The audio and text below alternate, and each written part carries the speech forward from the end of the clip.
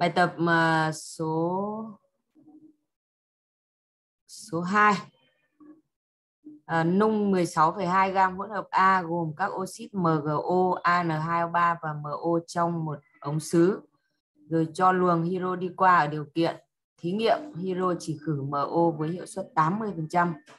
Lượng hơi nước tạo ra chỉ được hấp thụ 90% vào 15,3 gam dung dịch H2SO4 90%. Kết quả thu được dung dịch là 86,34%. Chất rắn còn lại trong ống được hòa tan bởi một lượng vừa đủ dung dịch HCl thì thu được dung dịch B và còn lại 2,56 gam chất rắn kim loại M không tan. Lấy 1 phần 10 dung dịch B cho tác dụng với NaOH dư. Lọc lấy kết tủa nung ở nhiệt độ cao đến khối lượng không đổi thì được 0,28 gam oxit. A là xác định kim loại M. B là tính phần trăm theo khối lượng các chất trong hỗn hợp A.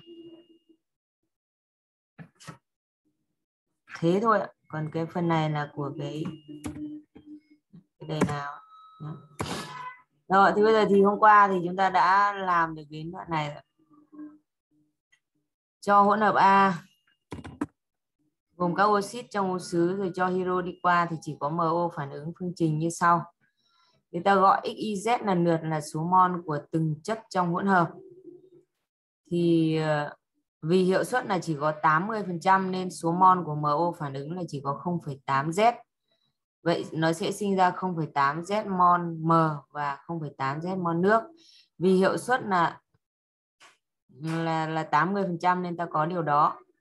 Thế giờ thì ta sẽ sử dụng cái chỗ mà hơi nước loãng này, à, hơi nước được tạo ra chỉ hấp thụ 90% vào cái này và làm loãng dung dịch ra. Đấy, thì hôm qua là ta đã tính được M chất tan 1 là bằng 15,3 nhân với 90 chia cho 100 và bằng 13,77 gram. Vậy M nước trong dung dịch 1 sẽ là bằng 15,3 trừ 13,77 thì bằng 1,53 gram. Cái M của nước mới tạo thành này là 0,8 Z 5 mol này. Thì người ta nói là cái cái này nó chỉ hấp thụ có 90%. Nó chỉ hấp thụ 90% thôi. Vậy thì cái nước mới sinh ra là 0,8 mol này nhân với 18 rồi ta nhân với 90% thì sẽ ra được cái khối lượng của nước mà được hấp thụ vào cái dung dịch axit là 12,96 Z gam. Thế mà vì là hòa loãng trên M chất tan 2 thì bằng M chất tan 1 và bằng 13,77 gam. Thế còn M dung dịch 2, M dung dịch 2 thì sẽ bằng là M chất tan 1 cộng với M nước trong dung dịch 1, tức là dung dịch cũ ấy và cộng với M của nước mới sinh ra từ cái phản ứng này này. Đấy và thêm vào. Thì ta sẽ có là bằng 13,77 cộng với 1,53 cộng với 12,96 gạ Z. Đấy, thì đấy là cái M dung dịch.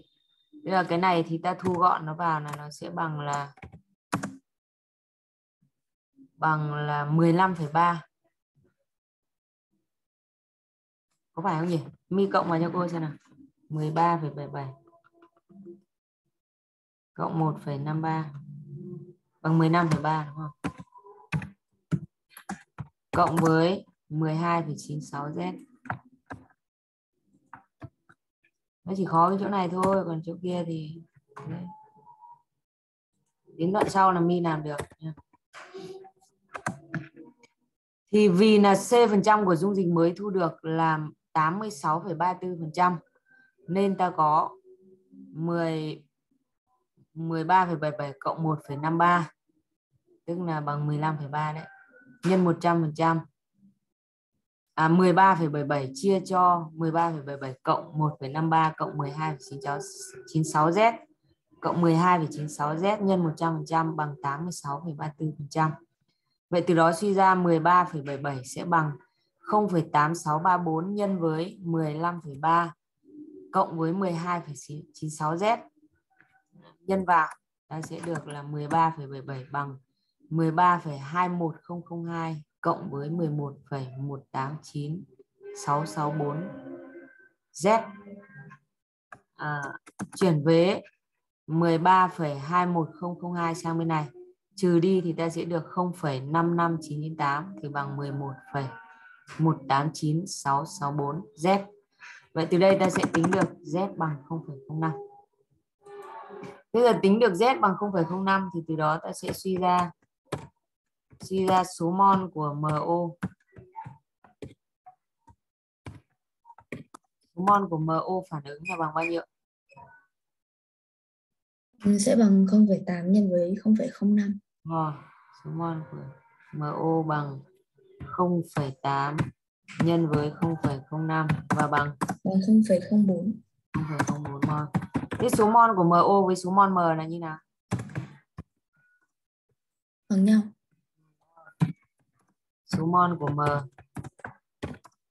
với số mol của MO. Rồi.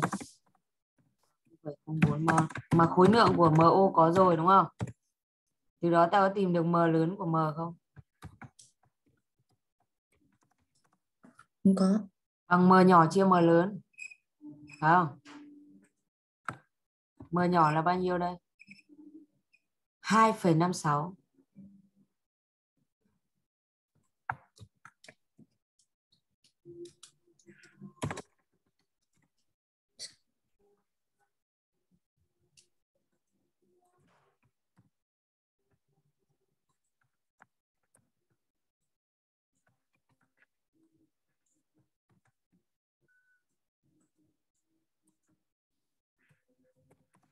Hai phẩy năm sáu. Chia bao nhiêu? 0,04 chia số mol được à chia số mol đúng rồi.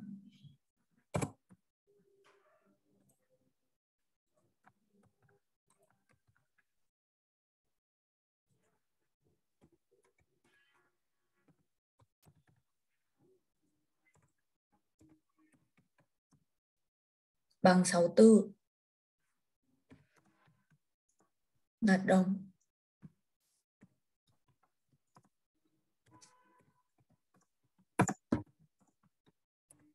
Vâng là CU. Vậy xong phần A đúng không? Bây đến phần B.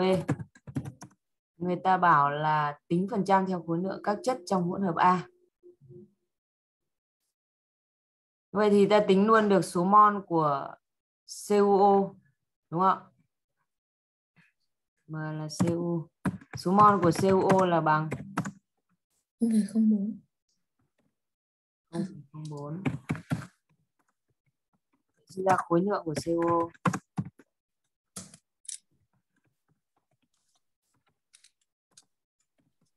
không bốn nhân với 80 bằng 3,2 gam. Tính được phần trăm luôn chưa? ra hỏi phần trăm mà. Trăm theo khối lượng cái chất. Vậy suy ra phần trăm của MCO sẽ là bằng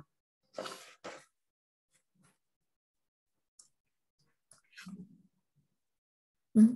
Có lướt dậy lên đây đây 16,2 16,2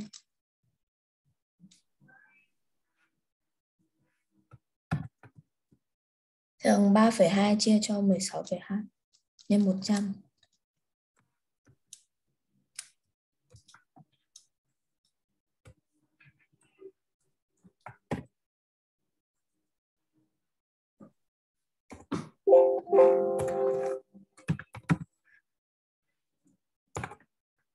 16,2 à?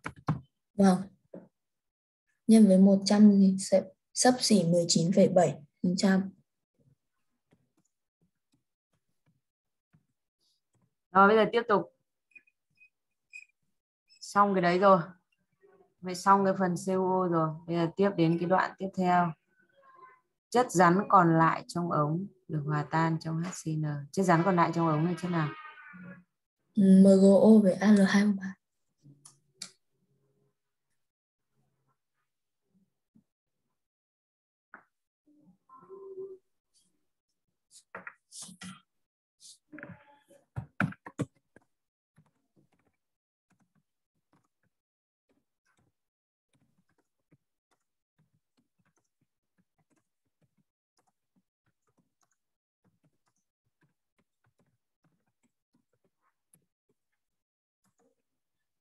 Để cho tác dụng với HCN.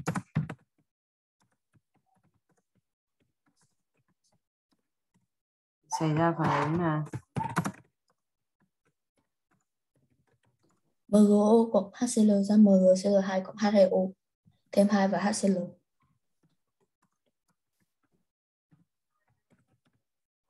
ta gọi đây là phương trình 3 đi. 2 hay 3 nhỉ? Trình 2. Đây là một. AN23 này.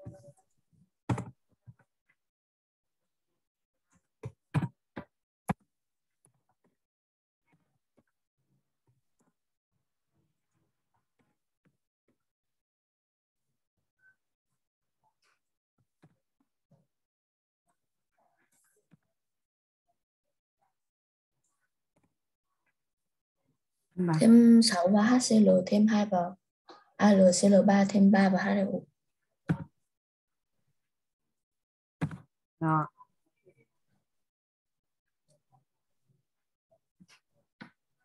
Dung dịch thu được cho tác dụng với dung dịch B, dung dịch B là gì? Dung dịch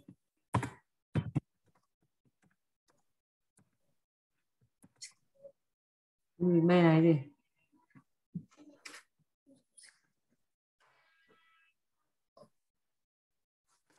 Không có HCN dư nhá, HCN vừa đủ. Thế là MgCl2 với AlCl3. cộng với tác dụng với NaOH dư xảy ra phản ứng là gì? Ừ, MgCl2 cộng NaOH là MgOH tất cả hai cộng NaCl.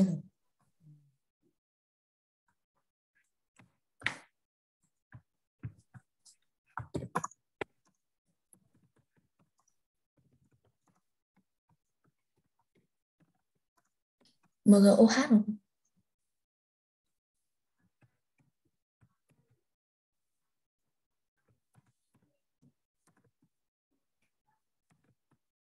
thêm hai vào NaOH thêm hai vào nó sẽ được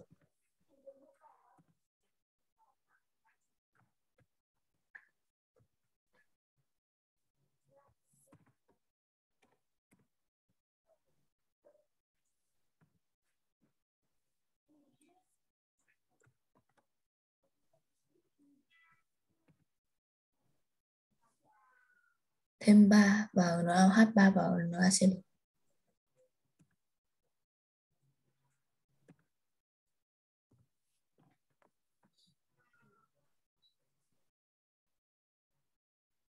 Rồi, bây giờ làm nào. Dung dịch ờ, nọc lấy kết tủa, nung ở nhiệt độ cao đến khối lượng không đổi. Kết tủa thu được là MgOH tất cả hai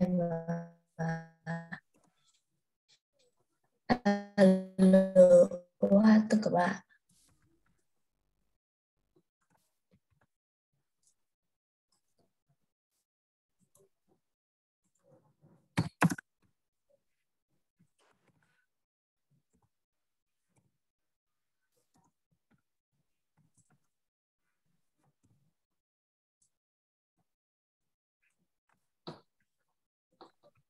Đông người ta sẽ được cái gì nào? Mình sẽ được MgO và H2O.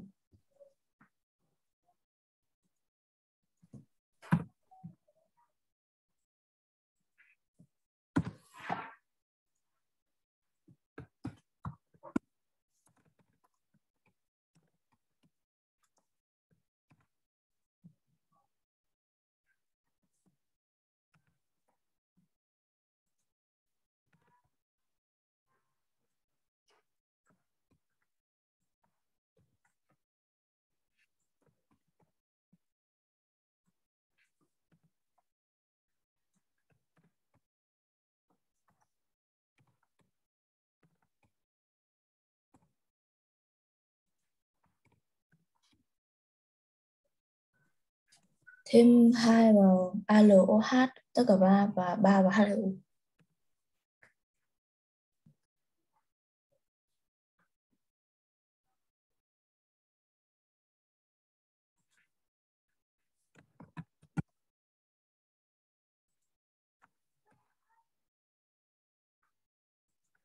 Đây tính thế nào? Cái này là chỉ lấy 1 phần 10B thôi nhé.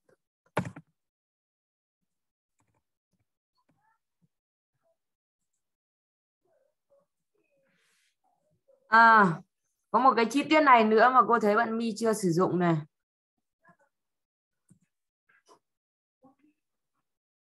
Nào hát dư. Đúng không?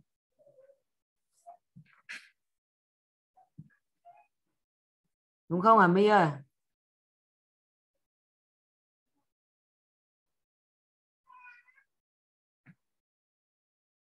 và tác dụng của nó quá Đúng rồi. Vậy NaOH này nó sẽ tác dụng với một kết tủa ở trong này nữa.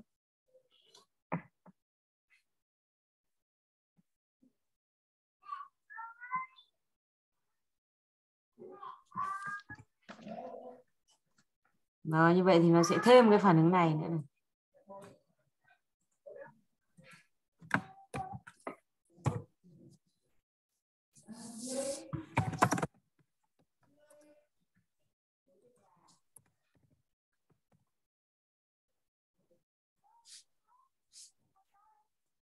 Sản phẩm này thì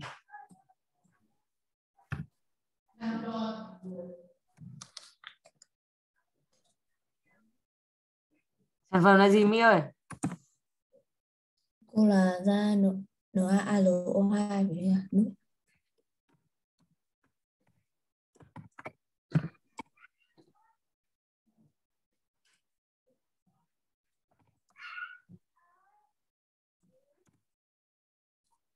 Tiếp hai là nước.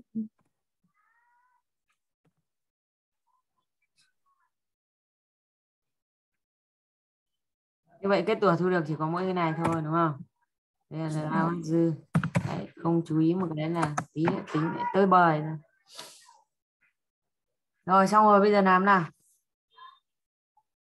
Làm nào để tính được phần trăm của hai chất còn lại? Đấy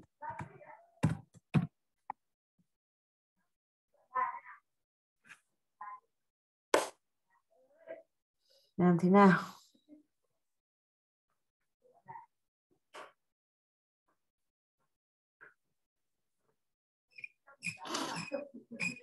tổng của ba cái chất này nó là 10 6,2 nếu mà của CO là ta tính được rồi Đến đây ta lại thu được 0,28 gam oxit. Oxit này là cái gì? MgO. Ừ, rồi.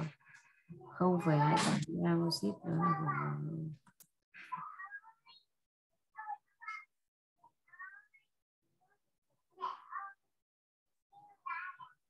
của tính số mol của MgO.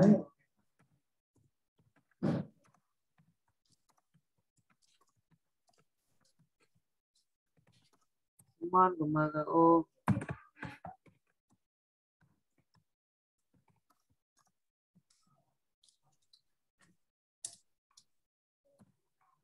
sẽ bằng 0,28 chia 40.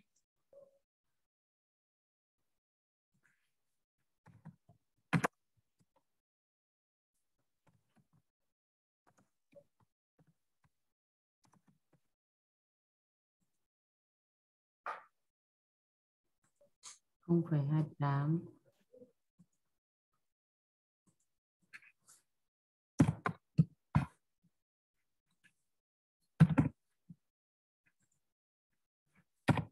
0,07 0,007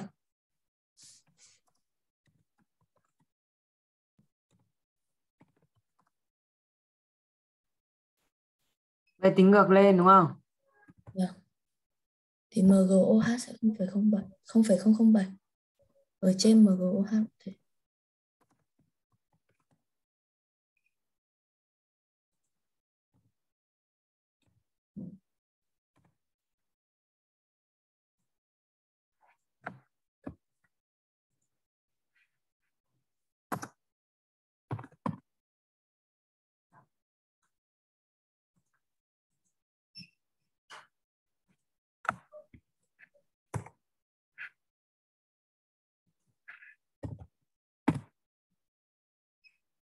Lên này trên. đúng không? đấy xong rồi tính ừ, MGO tính gam của MGO đây là theo à, hai này bốn này bảy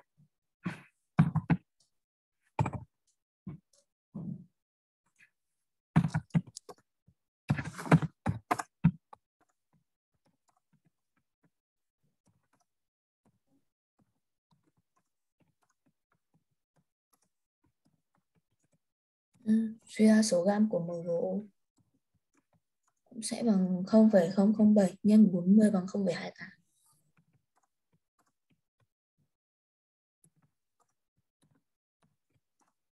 nó phải tính phần trăm. Ừ. không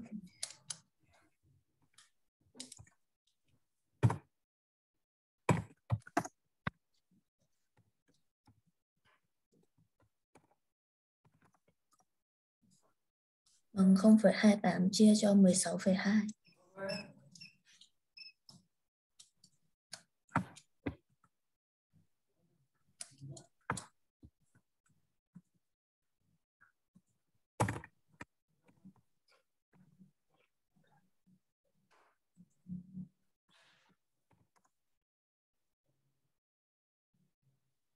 thì sẽ bằng sấp xỉ 1,7 phần trăm một phẩy bảy à vâng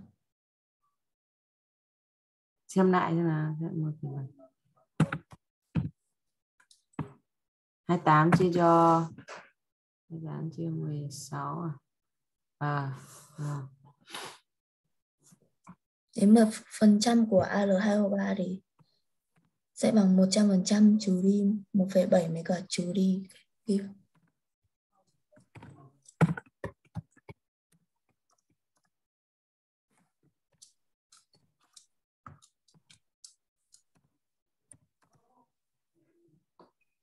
Trừ bao nhiêu Trừ đi phần trăm của M sinh chín phẩy bảy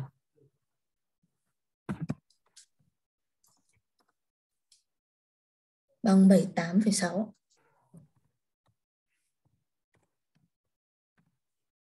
Rồi. Cảm ơn bạn My.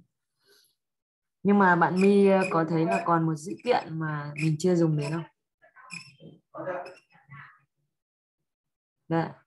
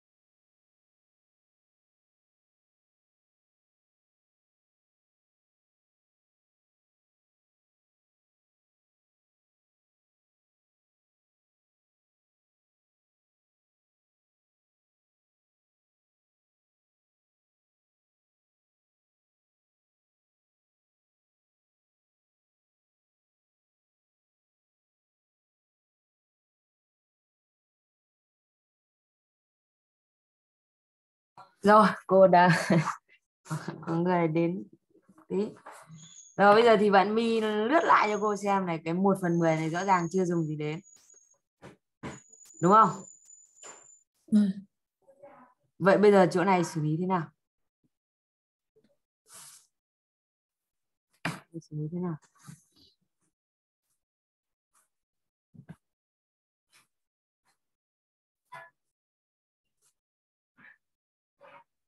Thì cái chỗ này nhá. À, cái chỗ này này, ở dưới lên đến đây này.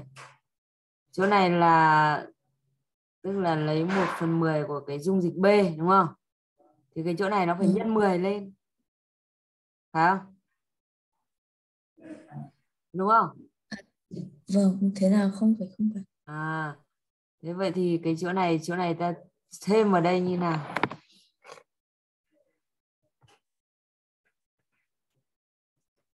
à, suy ra số mol của MgCl2 tham gia phản ứng 4 à sinh ra ở 4 là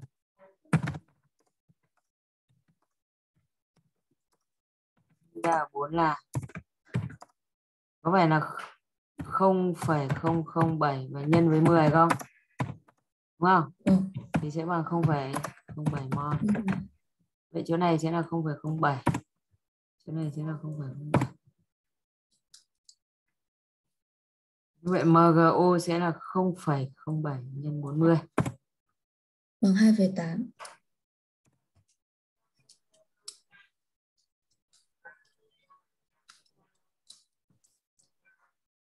Thì phần trăm sẽ là sắp xỉ 17,2.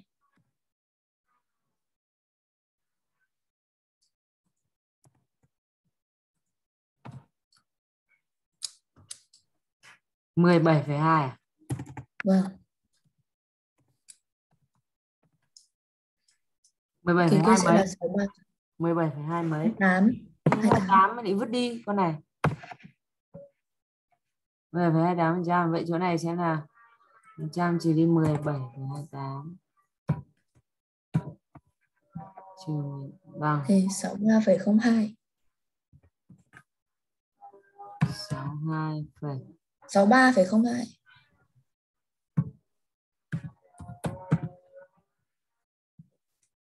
xác định không hai bảy với tám là 15 mà này à. Ừ rồi ừ rồi đúng không? Rồi ok. Ba không hai phần trăm đó là phần trăm bao rất nhiều. Xong rồi.